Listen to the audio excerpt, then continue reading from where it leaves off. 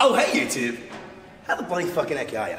And welcome to the fucking booty base. In today's video, we are going to be explaining and exploring through two of the most loved and famous exercises in all of the fitness industry and discussing which is best for the glutes hip thrusts or squats.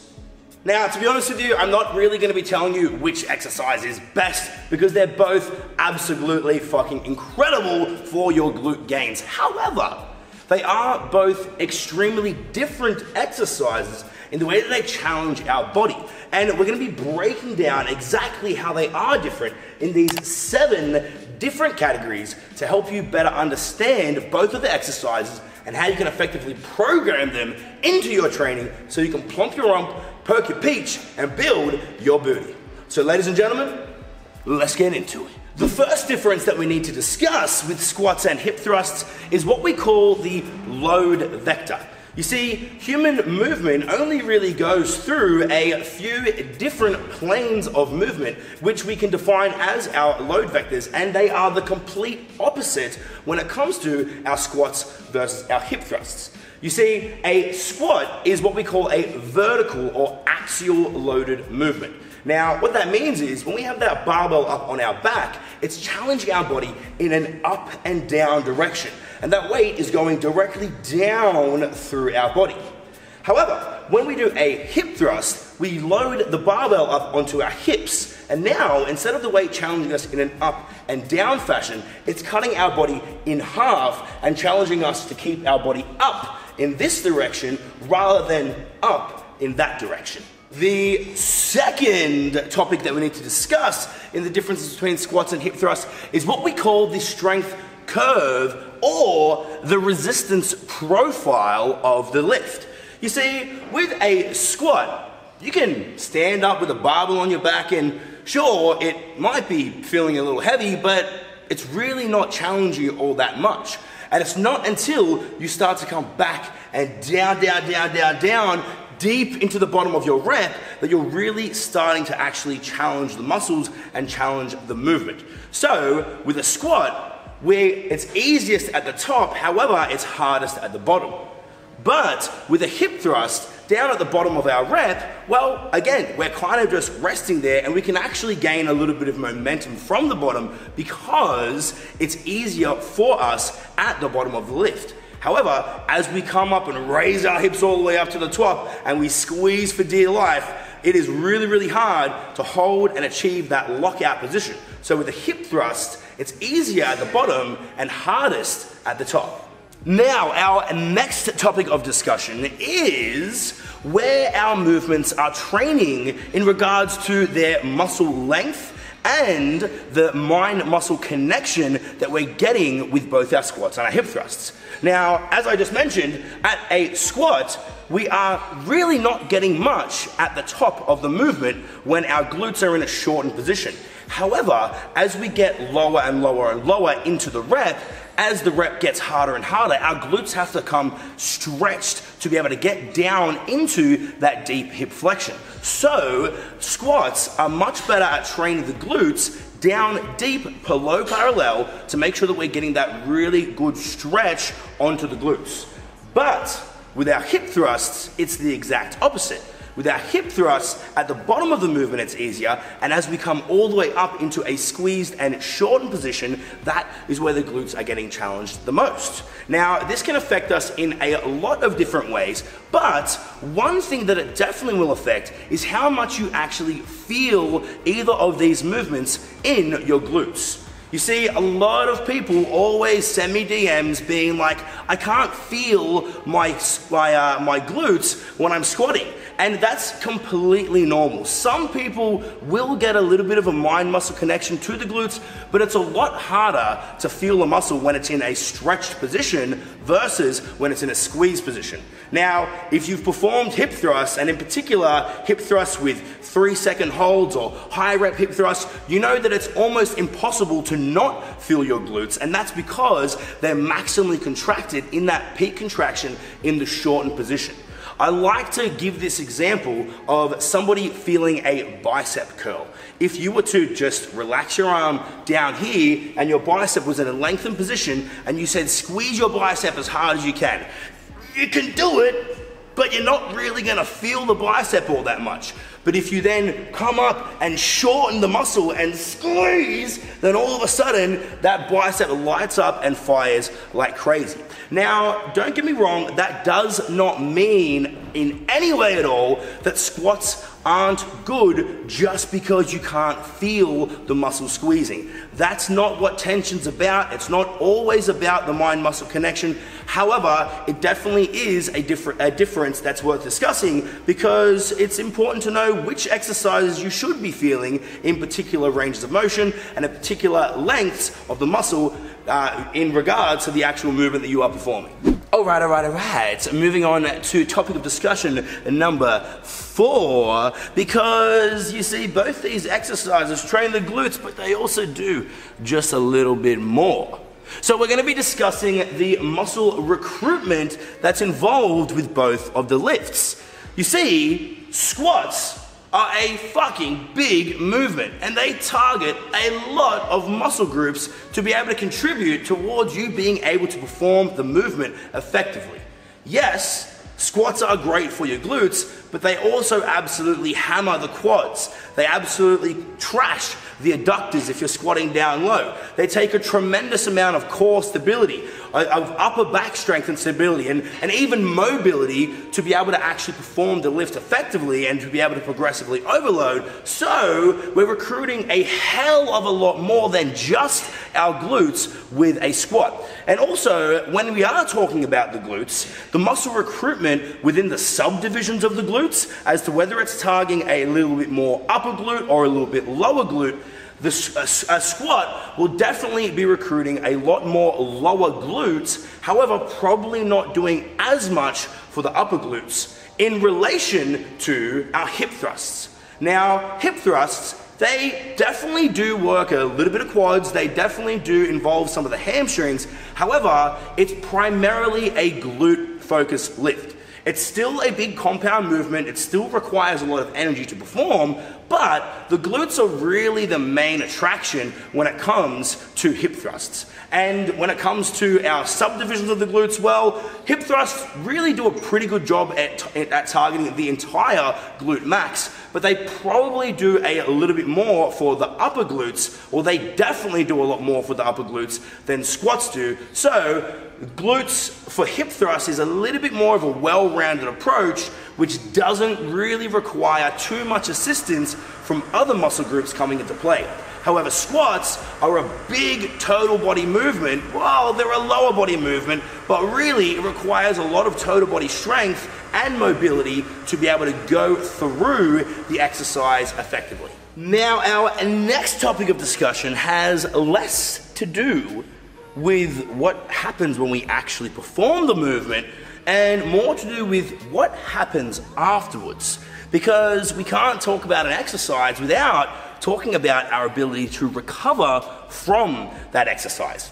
You see, squats are absolutely fucking incredible for a lot of reasons, and some of the ones that I'm going to mention we have already touched on.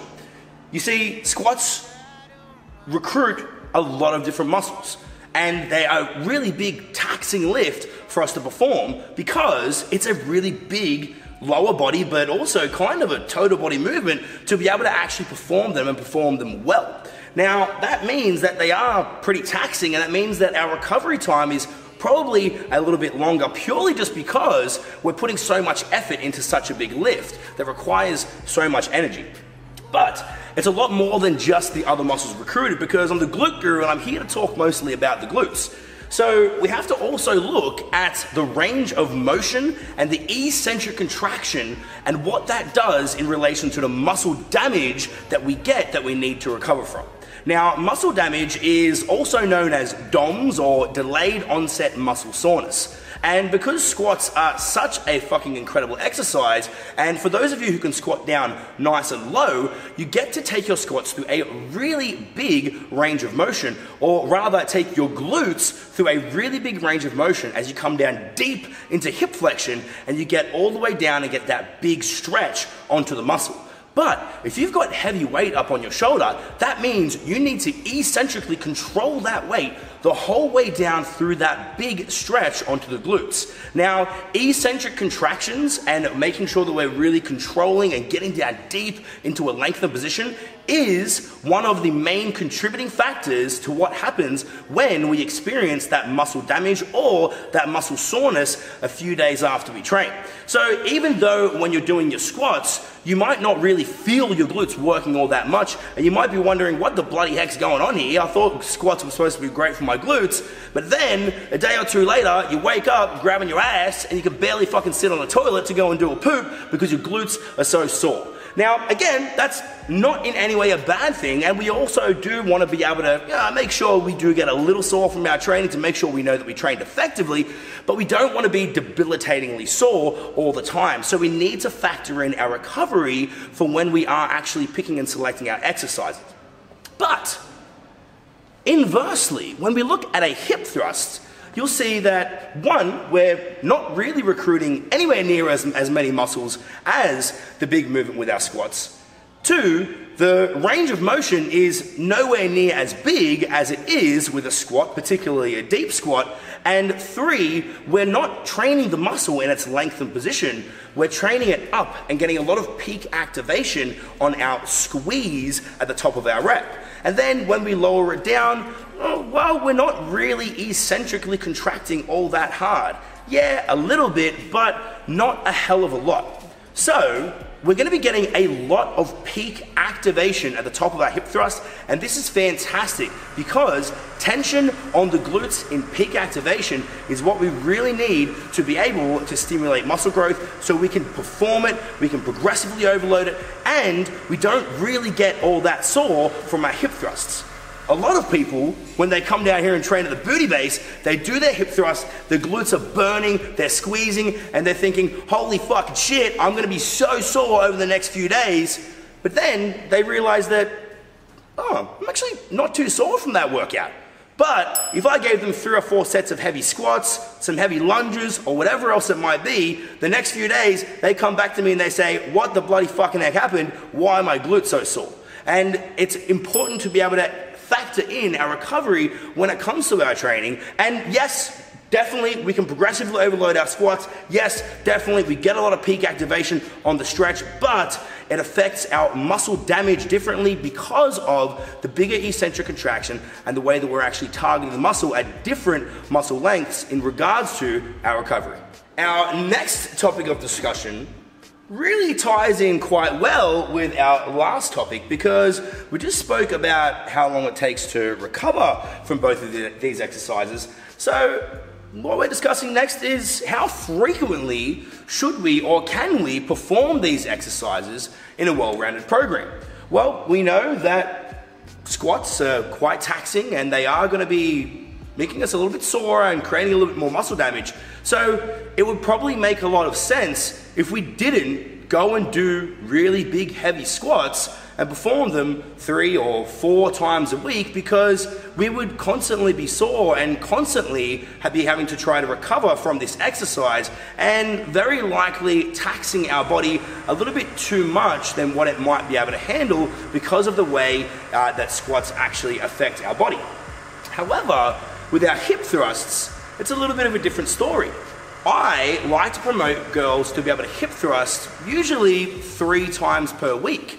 And a lot of the girls down here at the booty base do that and they do that very, very effectively. And we tie that in to be able to program well with the squats as well. So we get to train the muscle in both its lengthened position and its shortened position, and also factor in the recovery time that it takes for both of those exercises to be able to make sure that we are getting stronger without just getting sorer and running our bodies into the ground. So squats it's probably best to perform them once or maybe twice a week Maybe if you're doing a squat specialization program, you can maybe get them in three times per week, but you have to be a little bit careful with the squat variations in which you're picking in regards to how well you're actually going to be recovering from those movements. However, with hip thrusts, you can hip thrust probably anywhere between two to four times per week, recover really well, and also be able to progressively overload this movement over time.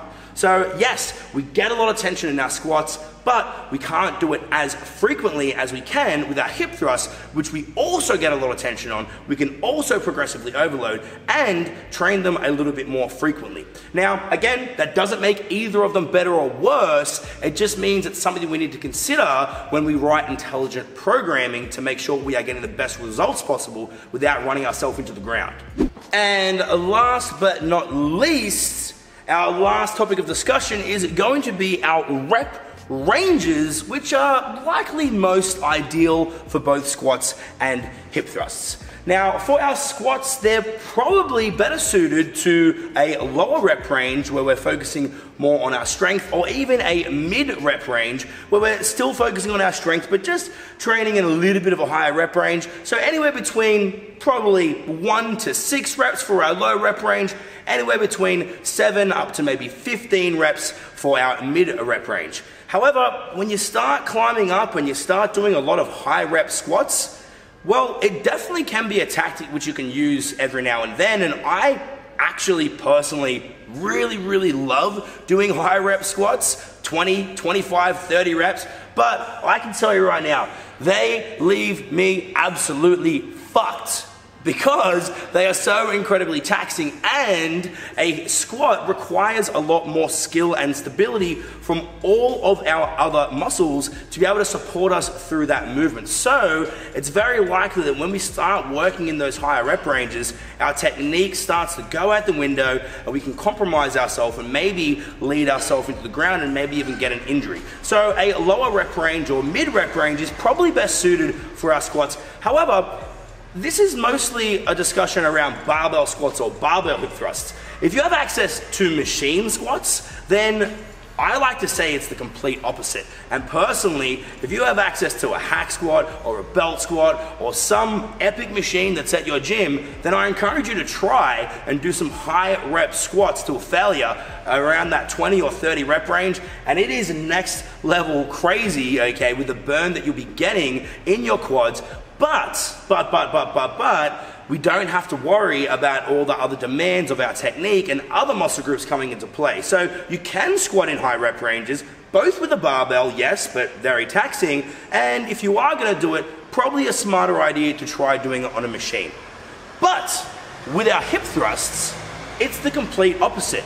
To be honest with you, I definitely don't discourage hip thrusting in a low rep range, and you definitely can and definitely should if you enjoy it. However, a mid to high rep range is probably best for the hip thrusts. So, anywhere between one to six reps for our low rep range, anywhere between about seven all the way up to 15 for our mid rep range, but you can do hip thrusts for 20, 30, even do a hip thrust or glute bridge or even bodyweight hip thrust variation for anywhere up to 50 reps and get an absolutely incredible burn in your glutes. Doesn't matter really what rep range you work in, as long as you can keep your technique and work that muscle close to failure, then it's going to be an effective rep range for you to work in. However, it's a lot better for us to be able to do that with hip thrust because it's far less likely that our technique is going to flaw. So we can perform in those higher rep ranges, get that incredible glute burn that we all know and love. We don't really have to worry about that risk of injury. And there are a plethora of different hip thrust variations. Again, this video is mostly about barbell squats versus barbell hip thrusts, but there's so many hip thrust variations, single leg hip thrust, machine hip thrust, banded hip thrust, and a whole other variety of other ones that I'm not gonna mention because Brittany's looking at me and she's already given me the finger to say that I'm rambling on too long, but you guys get the drift, I'm sure, by now. Alrighty, ladies and gentlemen, there you have it. That is a wrap for our squats versus hip thrusts. I probably could have rambled on about a whole bunch of other topics, but I thought I would just keep it at seven for now, and that's enough for you, for you ladies to be able to learn from, I hope. Now, again, There was probably a lot of times in here where I was kind of sounding like I was saying squats aren't all that great. To be honest with you, I'm the glute guru.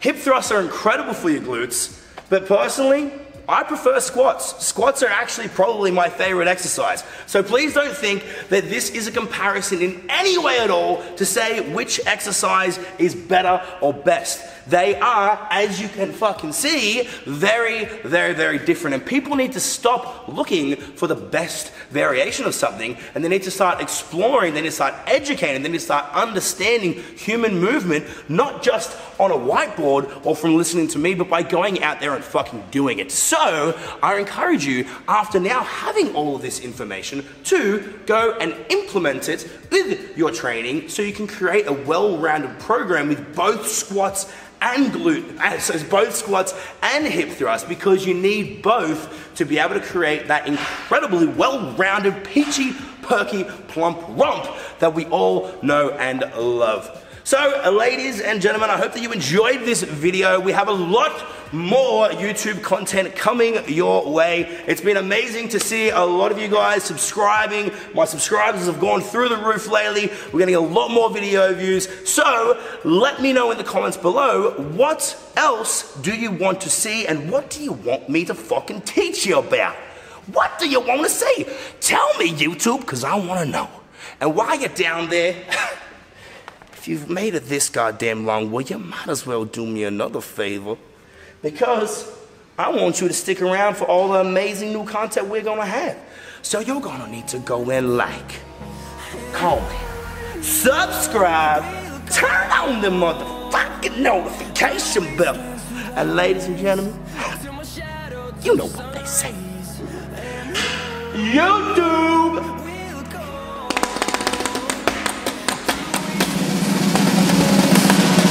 Love